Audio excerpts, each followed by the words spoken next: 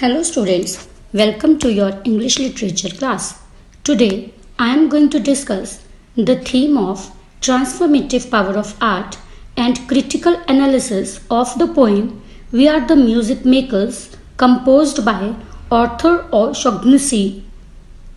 Today you will be able to understand theme of transformative power of art and critical analysis art for life's sake. So students Open your workbook on Reverie at page number 159.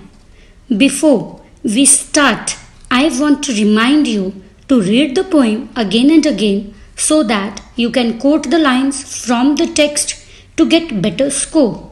So before proceeding further, let's discuss the difficult word meanings of the theme transformative power of art. So mark the difficult words. First word is catalyst.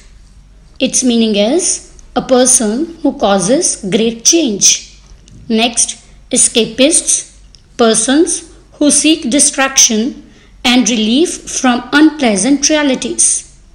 Next, tumble, meaning is destroy. Next, stigmas, meaning is old beliefs. Next is attributes meaning is associates. Last word is rally, meaning is reunite. Let us discuss theme of the poem transformative power of art. But students, before reading the theme transformative power of art, I just want to tell you the sum and substance of this theme. We are the music makers poem underlines the idea that art is a powerful vehicle for social change. It has great transformative power. Art gives us new ideas and new visions. Artists do not engage themselves in physical activities. Rather, they remain aloof from society, yet their art push the society on the path of the progress. Now, let's start reading the theme Transformative Power of Art. One of the main themes of the poem is the transformative power of art. Though artists such as musicians, poets, painters are regarded by many as escapists, wandering by lone sea breakers and sitting by desolate streams, their art and ideas inspire the society. This means transformative power of art is one of the main themes of this poem. The artists, such as musicians, poets, and painters, are always regarded as powerless people or worthless dreamers by the society. Now, why these people, why these artists are always regarded as powerless people or you can say worthless dreamers? Because they are always seen wandering by the lone sea breakers by the stormy sea or sitting by the desolate streams. Or you can say lost always lost in their dreams. Yet their art inspire the society. Though art does not directly cause any physical change it acts as a catalyst to cause that change. Though the artists do not indulge themselves in any physical action. Their immortal art still makes them movers and shakers. Students, now this means the artists always keep away from any physical action or activities, but uh, they address burning issues through their creations, through their art. They remain away from realities of life, from real life, but their creations only make them movers and shakers.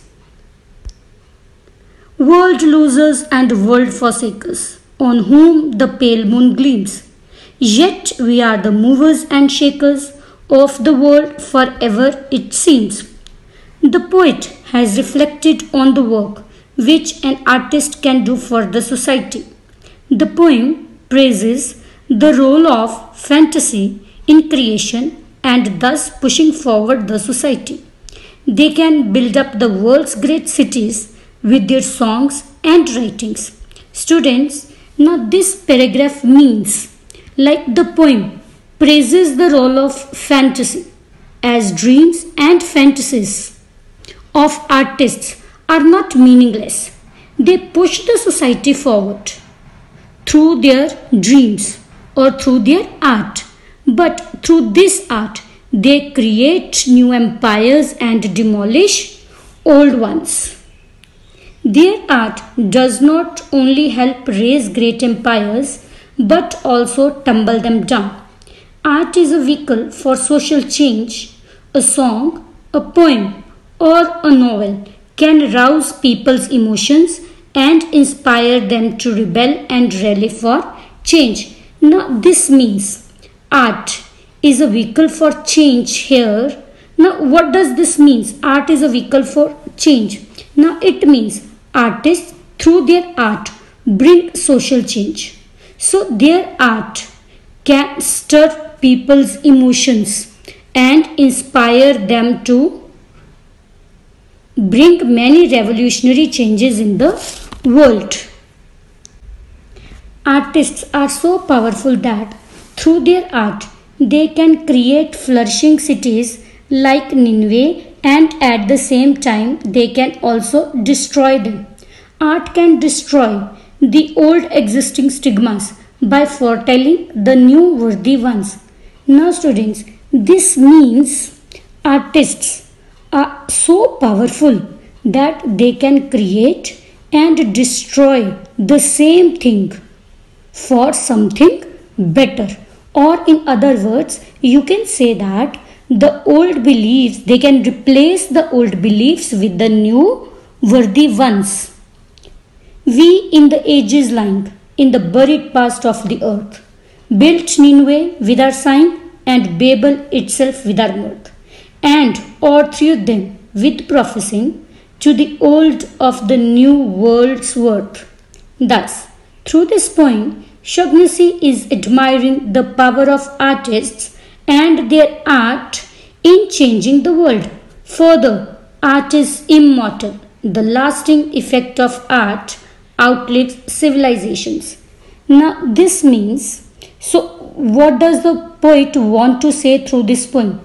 Actually, through this poem, the poet is praising the power of artists and their art. Art is immortal. The creations of these artists outlive civilizations. In fact, in the third stanza of the poem, Shaughnessy has attributed divine status to art by referring to biblical cities of Babel and Nineveh and the artist's power both to create and to destroy art. It is ultimately art which is left in the world. So, in the third stanza, the poet actually tells us about the power of artists. So, what does he tell us? He tells, the poet tells that the power of artists is almost divine. When they suffer, they built a Nineveh and when they rejoice, a Babel rises up. So, artists have the power to create as well as destroy. So, art is what is left in the world. So, with this, our theme transformative power of art ends up. Now, children, let us discuss the word meanings of the critical remarks art for life's sake. Now mark the difficult word meanings. First word is rendition, interpretation. Coined meaning is invented. Next word is valuation meaning is an act of valuing. Next word is Stimulus, a thing that arouses energy in someone. Next is peripheral, meaning is outer or border. Now let's start critical remarks.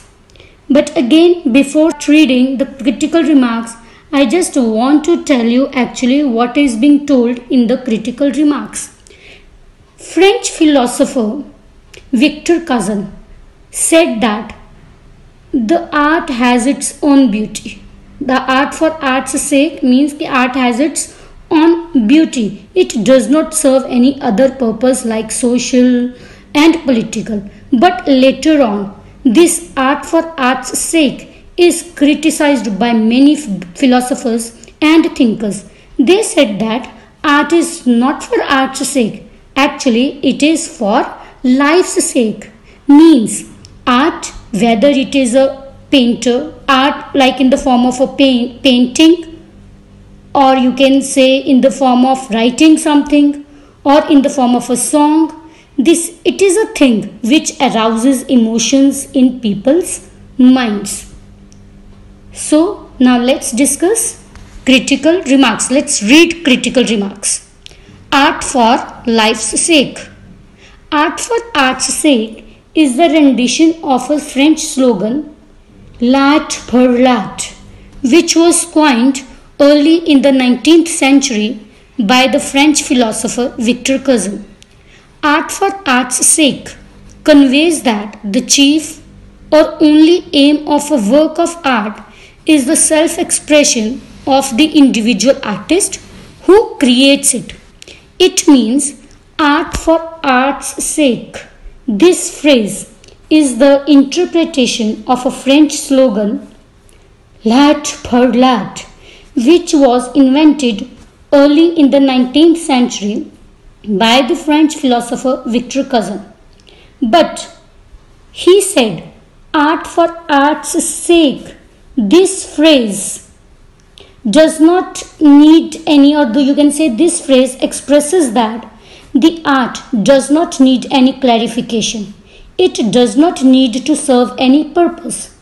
Or the art has its own value. It should exist only for its uh, for its own sake. Or you can say art exists only for the sake of its beauty, whether it is spiritual, physical, or intellectual. It serves no political, social, or any other purpose. But this idea was criticized by several philosophers as and thinkers. But you know, children, after this, the same idea, art for art's sake, is criticized by many thinkers and philosophers. Now, one of the uh, you can say one of the person, one of the thinker said that, like Friedrich Nietzsche. Now he claimed something, you know he claimed that there is no art for art's sake. He asked, What does all art do? Does it not praise, glorify, select, highlight? By doing all this, it strengthens or weakens certain valuations. Art is a great stimulus to life. How could one understand it as purposeless, as aimless, as l'art pour l'art? So, Friedrich Nietzsche claimed that there is no art for art's sake. Means he was totally against this phrase. He said there is no art for art's sake. And he asked what does all art do? Does it not praise glorify select or highlight? Rather by doing all this the art strengthens or weakens certain valuations. Or art is the thing that someone that you can say that arouses energy in everyone or energy in others. So how uh, could one understand art as purposeless as aimless as l'art pour l'art O'Shaughnessy's poem written in the 19th century favors the idea of art for life's sake. A work of art be it music painting photograph or drama can help one deal with life's challenges so this means O poem, this We Are the Music Makers, written in the 19th century, means it was also written in the same century in which it was, means everyone was in the favor of art for art's sake. But this poem was totally against it. Right? This uh, it favors the idea of art for life's sake. So O'Shaughnessy's poem favors the idea of art for life's sake means this phrase usually refers to the idea that the world and people might need inspiration beyond their everyday routine. So, it is a mode of art where the artist must depict reality in the hopes of changing it because these are the artists only who are a part of the world who can alter it, who can change it.